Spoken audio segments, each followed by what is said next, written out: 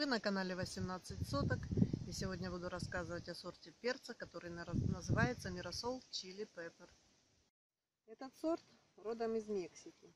В переводе с испанского название означает смотреть на солнце. Э, растения очень компактные, перцы конической формы, собраны в пучки, растут вверх.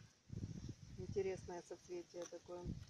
Высота растения около 30 40 сантиметров зреют плоды от зеленого, затем становятся красным и в конечном итоге в биологической белости имеют темно-темно-красную красный цвет. Стрючки примерно около 5-7 сантиметров в длину могут использоваться в свежем виде. Также их сушат, используют в кулинарии. Созревает этот сорт за 70 80 дней. Вот так выглядят зрелые плоды и плод в разрезе. Толщина стенок около 2 миллиметров.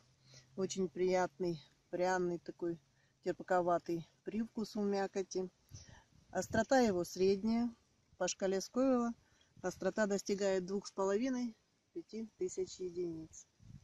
На этом обзор перца я заканчиваю. Заходите на мой канал. Буду знакомить с другими сортами перца.